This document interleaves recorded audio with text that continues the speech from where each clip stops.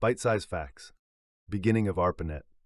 In 1969, ARPANET launched as the original version of the Internet created by the U.S. Department of Defense. It allowed multiple computers to connect and communicate remotely, marking the beginning of global networking. Streets hit with the ATM. In 1970, Citizens and Southern National Bank in Georgia introduced the first automatic teller machine in the United States, letting customers withdraw cash without a bank teller for the first time. Expansion of ARPANET. Also in 1970, the ARPANET added four key nodes at UCLA, UCSB, SRI International, and the University of Utah, laying the groundwork for the future of interconnected research and educational networks. Shaky roams the halls.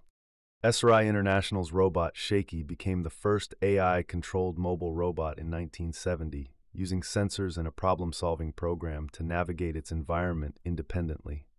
Intel 4004 debuts. In 1971, Intel released the 4004 microprocessor with 2,250 transistors. It handled 90,000 operations per second and launched the age of small, powerful computing. Like and follow for more.